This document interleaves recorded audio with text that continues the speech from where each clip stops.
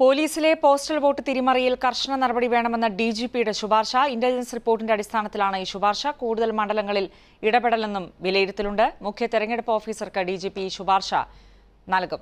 വാർത്തയുടെ കൂടുതൽ വിവരങ്ങളുമായി കെ അരുൺകുമാർ ചേരുകയാണ്. അരുൺ കഴിഞ്ഞ ദിവസമാണ് ഈ പോസ്റ്റൽ വോട്ടിൽ ക്രമക്കേട് ഉണ്ടായി എന്നുള്ള ഇന്റലിജൻസ് റിപ്പോർട്ട് ഡി ജി പിക്ക് നൽകുന്നത്. എന്താണ് ഡി ജി പി ഇതിൽ നടപടിയെടുക്കാൻ പോകുന്നത്? എന്തൊക്കെയാണ് വിവരങ്ങൾ?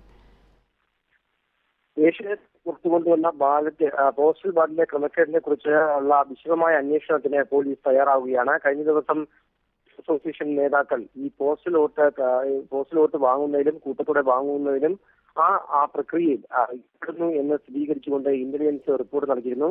ഈ റിപ്പോർട്ടിന്റെ അടിസ്ഥാനത്തിലാണ് ഡി ജി പി നടപടികൾ സ്വീകരിക്കുന്നത്. കാരണം ഇത് തെരഞ്ഞെടുപ്പുമായി ബന്ധപ്പെട്ട ഒരു കാര്യമായതിനാൽ തെരഞ്ഞെടുപ്പ് കമ്മീഷനാണ് ഇക്കാര്യത്തിൽ തീരുമാനമെടുക്കേണ്ടത് എന്നാണ് പോലീസിന്റെ തീരുമാനം. അതുകൊണ്ട് ഇന്റലിജൻസ് റിപ്പോർട്ടിന്റെ അടിസ്ഥാനത്തിൽ ഇക്കാര്യത്തിൽ വിശദമായ അന്വേഷണം വേണം. എല്ലാ തലങ്ങളിൽ അന്വേഷണം വേണ്ടിവരും. കാരണം പോസ്റ്റ് ലോട്ടുകൾ ഓരോ ജില്ലകളിലും എത്ര പോസ്റ്റ് ലോട്ടുകൾ പോയി ആരൊക്കെയാണ് ഇത് പറ്റി തുടങ്ങിയത് അന്വേഷണം നടത്താൻ അത് ഏത് തരത്തിലുള്ള അന്വേഷണം വേണമെന്ന് കമ്മീഷനാണ് തീരുമാനിക്കേണ്ടത്. അതുകൊണ്ട് കർശന നടപടിയും അന്വേഷണം ആവശ്യപ്പെട്ടുകൊണ്ടുള്ള ശുപാർശ ഡി ജി പി ഇന്ന് മുഖ്യ തെരഞ്ഞെടുപ്പ് ഓഫീസർക്ക് കൈമാറും. അതിനുശേഷം കമ്മീഷൻ തീരുമാനിക്കുക അനുസരിച്ച് നടപടികൾ സ്വീകരിക്കാനാണ് ഡി ജി പി ഇപ്പോൾ തീരുമാനിച്ചിട്ടുള്ളത്. അരുൺ അരുൺ ഈ വാർത്ത പുറത്തു കൊണ്ടുവന്നപ്പോൾ പോലീസ് അസോസിയേഷൻ നേതാക്കൾ ഇത്തരം ഒരു വാർത്ത ഇങ്ങനെ ഒരു സംഭവം നടന്ന് നിഷേധിച്ചിരുന്നു. പക്ഷെ കഴിഞ്ഞ ദിവസം ഇന്റലിജൻസ് റിപ്പോർട്ട് പോലീസ് അസോസിയേഷൻ നേതാക്കളുടെ ഇടപെടൽ ഉണ്ടായി എന്നുള്ള റിപ്പോർട്ട് പുറത്തു വന്നതിന് ശേഷം പോലീസ് അസോസിയേഷന്റെ ഭാഗത്ത് നിന്ന് എന്തെങ്കിലും പ്രതികരണം ഈ വിഷയത്തിൽ ഉണ്ടായിട്ടുണ്ടോ? അസോസിയേഷൻ നേരത്തെ തന്നെ ഉറച്ചു നിൽക്കുകയാണ്. ഒരു തരത്തിലുള്ള ഇടപെടലും ഉണ്ടായിട്ടില്ല. കാരണം ഈ അസോസിയേഷന്റെ ഇടപെടൽ അതായത് ഈ ഇലക്ഷൻ പോസ്റ്റൽ വോട്ട് സമ്പ്രദായത്തിലെ ചില അപാകതകൾ മുതലെടുത്താണ് അസോസിയേഷന്റെ ഇടപെടൽ എന്നാണ് പറയുന്നത്. അസോസിയേഷൻ പറയുന്നത് അസോസിയേഷന്റെ ഒരു നേതാവോ വ്യക്തിയോ ആരെയെങ്കിലും ഭീഷണിപ്പെടുത്തുകയോ സ്വാധീനിച്ചോ ഇത്തരത്തിലുള്ള പോസ്റ്റൽ വോട്ടുകൾ വാങ്ങില്ല അത്തരത്തിലുള്ള ഒരു മൊഴിയും ആരും തന്നെ പരാതിപ്പെട്ടതായി തങ്ങൾ പറയിലുമില്ല അസോസിയേഷൻ അങ്ങനെ ഒരു ഇടപെടൽ നടത്തിയിട്ടുമില്ല എന്നുള്ള നിലപാട് തന്നെയാണ് ഇപ്പോഴും ഉള്ളത്. പക്ഷേ ഇന്റലിജൻസിന്റെ അന്വേഷണത്തിൽ കാരണം ഈ നേരത്തെ ശബ്ദരേഖ പുറത്തുവിട്ട ചില പോലീസുകാരുടെ മൊഴി എടുത്തു അത് മാത്രമല്ല ഈ പോസ്റ്റ് പോസ്റ്റ് ഓഫീസുകളിൽ പരിശോധിച്ച ശേഷം ഒന്നിലധികം പോസ്റ്റിലോട്ട് വന്ന ചില പോലീസുകാരുടെ മൊഴിയൊക്കെ അന്വേഷണത്തിന്റെ ഭാഗമായിട്ട് പ്രാഥമിക അന്വേഷണത്തിന്റെ ഭാഗമായി ഇന്റലിജൻസ് രേഖപ്പെടുത്തിയിരുന്നു. പക്ഷെ ആ പോലീസുകാരൊന്നും തന്നെ വ്യക്തിപരമായി തങ്ങളുടെ സൗഹൃദത്തിന്റെ അടിസ്ഥാനത്തിൽ തന്റെ വീട്ടിലേക്ക് ഇത്തരത്തിലുള്ള ബാലറ്റുകൾ അയച്ചു എന്നുള്ള മൊഴിയാണ് അസോസിയേഷനെ സഹായിക്കാനായി നൽകിയിട്ടുള്ളത്. അതുകൊണ്ട് തന്നെ അസോസിയേഷൻ ഇക്കാര്യത്തിൽ ഇടപെട്ടു എന്ന് നേരത്തെ സ്ഥിരീകരിക്കുന്ന ചില മൊഴികളൊന്നും ലഭിച്ചിട്ടില്ല. അത് അത് പിടിവള്ളിയാക്കിയാണ് അസോസിയേഷൻ പറയുന്നത്. നമ്മൾ ഒരു തരത്തിലുള്ള ഇടപെടൽ നടത്തിയിട്ടില്ല എന്നാണ്.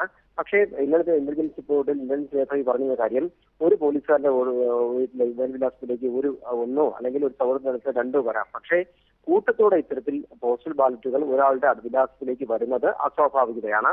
ആ കാര്യത്തിൽ ഒരു ഇടപെടൽ സ്വാധീനം സംശയിക്കുന്നുണ്ട്. അത് സ്വാഭാവികമായി പോലീസിൽ ശക്തമായി പ്രവർത്തിക്കുന്ന ഒരു സംഘടനാ സ്വാധീനം തന്നെയായിരിക്കാം എന്ന നിഗമനത്തിലാണ് ഇന്റലിജൻസ് എത്തിച്ചേരുന്നത് ആ നിഗമനം ആ റിപ്പോർട്ടിൽ കാതലുള്ള ഒരു റിപ്പോർട്ടിന്റെ അടിസ്ഥാനത്തിൽ മാത്രമാണ് സംസ്ഥാന പോലീസ് മേധാവി ഈ റിപ്പോർട്ട് തിരഞ്ഞെടുപ്പ് മുഖ്യ തിരഞ്ഞെടുപ്പ് കമ്മീഷൻ ഓഫീസർക്ക് കൈമാറാൻ തീരുമാനിച്ചിട്ടുള്ളത്.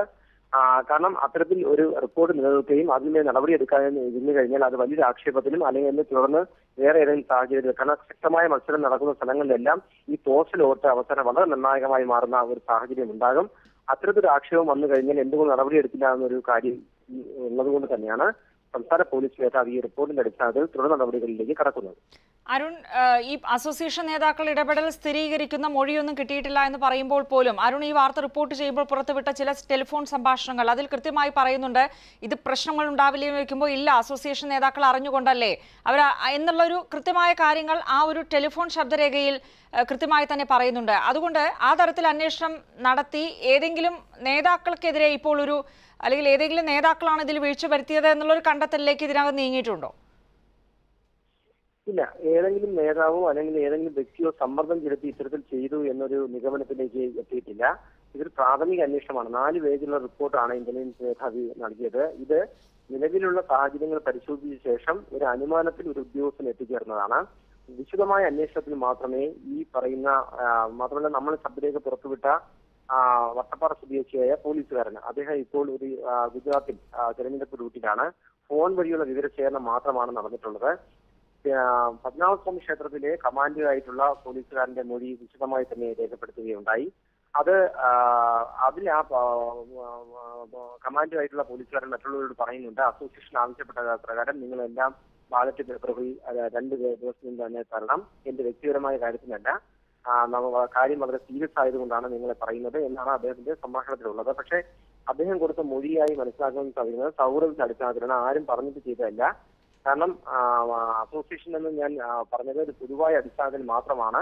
പക്ഷേ എല്ലാവരും ആ ബാലറ്റ് പേപ്പറുകൾ ശേഖരിച്ച് നൽകണം എന്ന് എന്നുള്ള ഒരു ഒരു ബോധ്യത്തോടും ഒരു ഒരു ചുമതല ഏറ്റെടുത്ത് മാത്രമാണ് ചെയ്തത്. തന്നെ ആരും ആ ചുമതല ഏൽപ്പിച്ചിട്ടില്ല അതായത് അസോസിയേഷനെയും നേതാക്കളെയും ഒക്കെ സഹായിക്കുന്ന രീതിയിലാണ് ഇപ്പോൾ മൊഴികളെല്ലാം നൽകിയിട്ടുള്ളത്.